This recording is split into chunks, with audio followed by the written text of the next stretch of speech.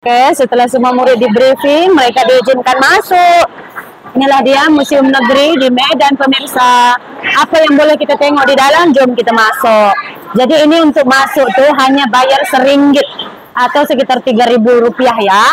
Tapi kalau turis luar negara itu bayarnya sepuluh ringgit atau sekitar tiga puluh ribu. Ah, di sini kita bisa melihat manusia purban aku. Oke, dia.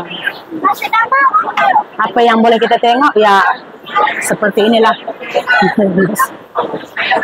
Nah, nah, yun. ikut ibu guru nakku ya. Nah, yang mau naik ke atas. Mbak nak ikut? Terpaksa saya ikut anak saya ya. Sementara yang lain masih melihat saudara mereka yang udah jadi patung kan. Kita naik ke atas. Hmm. Oke, yuk. Hmm. Nah, ini dia. Please do not touch the glass. Ini rumah adat. Jangan sentuh ya. Miniatur rumah tradisional Batak Toba ya, rumah tradisional Batak Toba. Ini rumah tradisional orang Batak. Halo. Halo Ramadan. Mana Mama? Ini rumah adat orang Batak ya. Sekarang masih ada kalau kalian pergi ke Danau Toba. Ini tuh masih ada di Danau Toba ini. Nah ini lebih kurang sama aja ini kepala lembu kayak ini.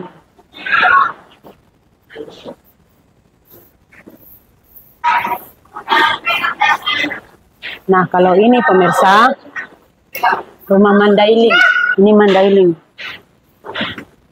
Hmm.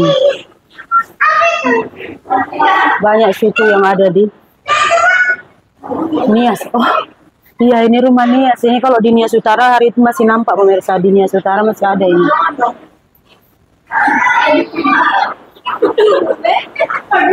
Nah, ini namanya kulin galang. Kulin gelang gelang bahasa karo. Ini belang. Oh, jadi belum touch ini dulu ya. Jadi belanga keling, belanga keling ini bukan keling orang India ya pemirsa, itu namanya kayak apa kuali, keling itu hitam, kuali hitam, rengsang katanya. Kukurin, kukurin kelapa, parut kelapa itu dulu parut kelapa. Bahasa Indonesia, bahasa Koreanya kukurin, parut kelapa pemirsa. Ini kayak para kan, ah, para-para ya para-para. Dulu saya sempat ada ini di rumah saya, para-para ini. Hmm. Oh, jadi barang-barang yang dulu ini ukat. Ukat itu kalau bahasa bahasa Melayunya apa? Sudip. Ini dari kayu, pemirsa. Itu puding tanah dari tanah liat. Ini dapur. Apa benda yang ini batu bata kalau kita mau masak para-para. Nah, ya, enggak bibi. Gul, apa sempurna api.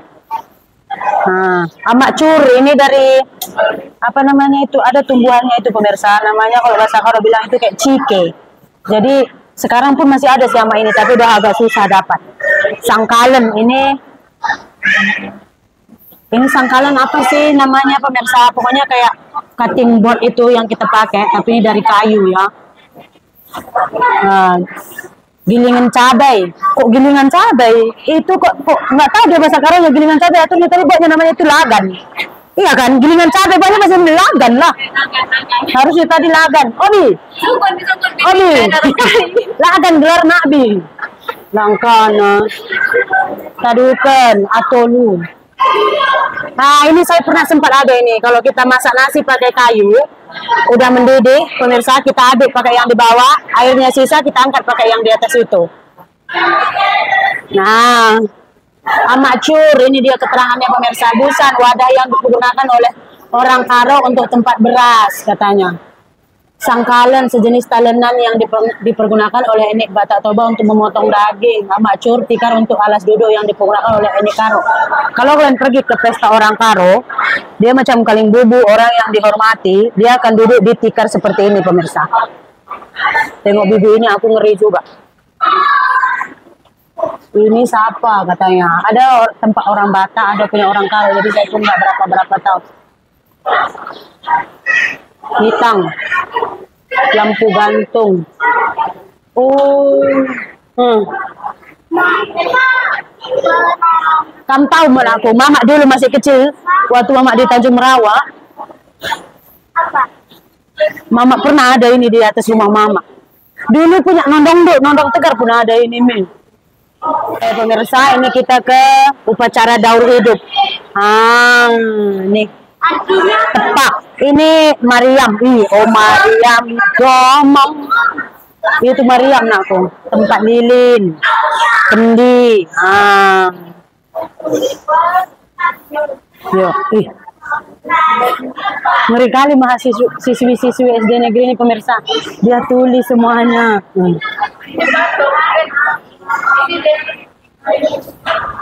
Ih.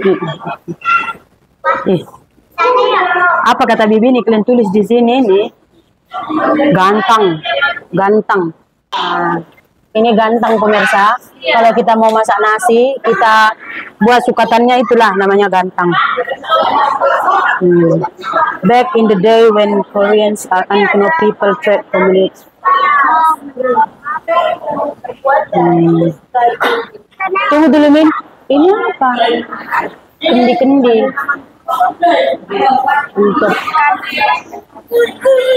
Kamu tengok dulu, tengok itu. Ha. Berdasarkan dan untuk berburu dulu, aku ada lembing, tombak, tuhu, bentang, sior. Ini bukan Ih, ini saya pernah nampak pemirsa. Ini untuk di sawah ini. Ini duduk di atas, nanti tariknya semua rumput-rumput di sawah. Ih, enggaknya terlalu lama. Kisah. Miniatur kebun. Mana? Ini untuk sawah kayaknya ini. Bercocok tanam di sawah. Ah, ini mama sempat nampak. Ini untuk sawah. Ah, ini tahu kamu apa? Ini namanya aniani. Eh, bukan aniani namanya ini. Ini namanya ketap. Kalau panen panen padi. Ketap. Ketap pagi padi. Regi imbalo itu apa tapi ini namanya ketap. Mana? Oh, bukan. Ini miniatur kereta rintik-rintik. Oh, ini nakku. Ini kecil dia buat ini untuk kerbau. Ini untuk kerbau. Biasa ini kita naik di atas nanti kerbau jalan Kita untuk dalam sawah. Ah, tapi ini miniaturnya. Tapi katanya don't touch. Miniatur sampan. Miniatur sampan alat transportasi air yang dipergunakan di sungai-sungai. Ini sampan, sampan kayak apa kita namakan ini bisa kayak gesek lebih kurang. Oke, ini ah inilah dia yang bilang tadi kereta kerbau. Ini kereta kerbau lah. Ah, dulu transportasi pakai kereta kerbau aku. Sekarang baru. Sekarang tuh masih ada kereta kerbau ya kan Pak? Masih. Masih. Ah, miniatur kereta lembu. Eh, kok lembu kerbau lah. Nah, ini pemirsa, kalau dulu, ini pernah sempat deh saya nampak ini. Seru. Nah, ini kalau mau buat macam sudip tadi lah, sudip. Nah, pakai inilah. Ayo main ke sana kakak, mama belum ke situ, Asmin kak. Unting-unting, mama kayak pernah nampak ini tapi lupa mama lah. Mama sempat bawa ini. Jala. Oh ini, ini apa? Solu ada sejenis perahu khas Danau Toba. Oh, Lihat Asmin kam dulu. Ini ayam. Oh ini masih ada pemirsa sampai sekarang pun ini tempat ayam ini. Mm-mm. Apa namanya katanya sangka? Kok sangka? Sunin lah. Ya kan bu? Sangka ni na sunin ah. Eh, patungan ko yung bisan. Ayam patung aku, ayam gak ada gitu jarinya panjangnya. Pak, apa yang Bapak pikirkan setiap hari orang hanya melihat Bapak di sini? Pak, halo, Ini orang patung. orang patung. Mama. Tunggu dulu, Mak, tengok dulu ini aku.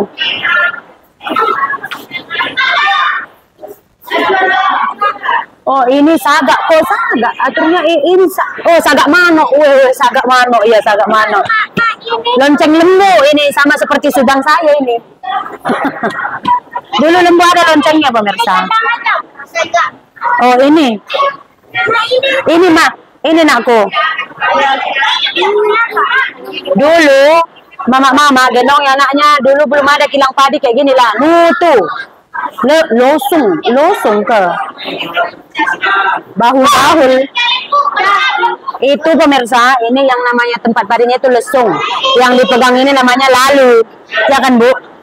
Lesung dan lalu. Tapi dibuat di sini cuma lesung. Tapi lesungnya yang bawah, lalunya yang atas. Yang digendongnya itu magiswaran lah. itu giring-giring katanya. Oh ini ini curit. Oh buris karet. I, eh pisoderes. Ini pisoderes. Hmm. Ini mama tahu lah kis-kis dia ngis-kisi kayu ini. Asuan. Ini pemirsa. Ini kayak ih. Oh ini memang dia macam itu seluarnya pun. Ah, ah, ini orang Nias. Pakaian perang bangsawan Nias, asal desa Ili Siamateno, Kabupaten Nias Selatan, bahan kulit kayu jenis. Kalau udah namanya Kuliwa Eli, ah itu dari Nias. Nias, Nias Selatan. Apa?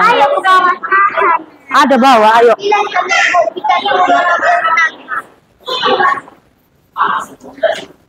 Kalau saya tengok namanya banyak juga yang nggak sama pemirsa lah. Cuman nggak tahu lah kita entah bahasa Karo entah bahasa Indonesia banyak karena yang barang-barang orang Karo yang dia tunjuk ini kebanyakan masih saya jumpa lah. Ih, komposisi penduduk di masa kolonial pemirsa. Kalau udah tahu kalian kalau pakainya seperti ini kan, ini Cina, ini perang pribumi lah, ini kolonialnya lah. Buruh Jawa, oh my god. Javanese Coolie. Pedagang Tionghoa. Ini tuan tanah Eropa. Ini kuli Tionghoa apa nak? Mari sini dulu. Kopi. Tembakau. Oh, ini daun tembakau, cengkeh. Ini lada putih. Ini tempat dia pakai ini pemirsa, tempat lada ini, ini namanya sumpit. Kalau bahasa Karon ini namanya siput. Pala kayu manis. Hmm? Bukan, ini namanya sumpit. Sumpit bahasa Karonya ya, bukan sumpit. Chopstick. Ini perakan namanya.